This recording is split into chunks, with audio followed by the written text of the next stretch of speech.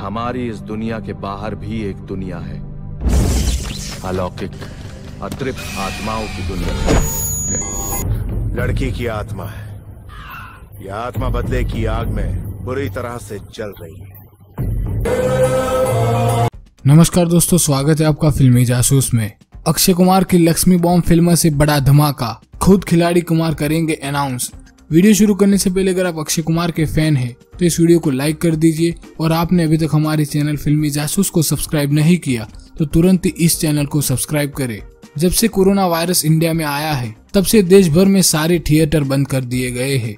यहाँ तक कि फ़िल्मों और सीरियल की शूटिंग भी बंद है और इसलिए कोई भी फ़िल्म रिलीज़ नहीं हो पा रही। यहाँ तक कि अक्षय कुमार की दो फ़िल्में तो बन भी चुकी है। जिनमें पहली है सूर्यवंशी और दूसरी है लक्ष्मी बॉम्ब लेकिन अक्षय कुमार के फैंस के लिए बहुत बड़ी खबर सामने आई है। जब भले ही सिनेमा घर अभी तक नहीं खुले, लेकिन आप अक्षय कुमार की फ़िल्म ज़रूर देखेंगे, वो भी ओ टी टी प्लेटफॉर्म पर।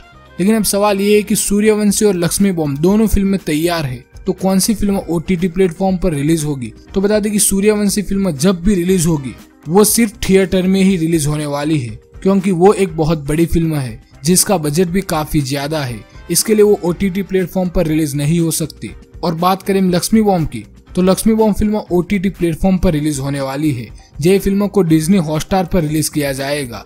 और ये फ़िल्म कब रिलीज़ होगी? फ़िल्म का कब आएगा ट्रेलर वो खुद अक्षय कुमार अनाउंस करेंगे। वो भी कल। जी आपने बिल्कुल सही सुना। 29 जून को लाइव एक बहुत बड़ा इवेंट रखा गया है। और उस इवेंट में अक्षय कुमार से लेकर अजय देवगन तक सब ऑनलाइन आएँगे।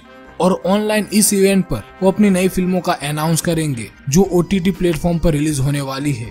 बता दें कि ये इवेंट ऑर्गेनाइज किया है डिज्नी हॉटस्टार ने और ये सारी फ़िल्में रिलीज़ होने वाली है हॉटस्टार पर और लक्ष्मी बॉम्ब फ़िल्म भी हॉटस्टार पर ही रिलीज़ की जाएगी। बात करें लक्ष्मी बॉम्ब फ़िल्म की तो फ़िल्म में लीड रोल में अक्षय कुमार के साथ कियारा अडवाणी नज़र आएँगी। इसके अलावा फ़िल्म में कई सारी सपोर्टिंग कास्ट होगी, जिसमें हमें ज़बरदस्त कॉमेडी देखने को मिलेगी। और वो फ़िल्म को डायरेक्शन दिया है राघवा लॉरेंस ने।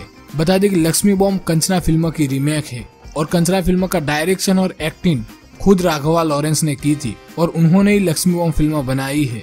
यानी कि फ़िल्म बहुत ही बढ़िया रहने वाली है। तो फ्रेंड्स कल का इंतज़ार कीजिए क्योंकि अक्षय कुमार खुद आ रहे हैं फ़िल्मों का अनाउंस करने। आप कितने एक्साइटेड है लक्ष्मी बॉम्ब फ़िल्मों को लेकर वो हमें कमेंट करें और ये न्यूज़ पसंद आई है तो उसे लाइक करें।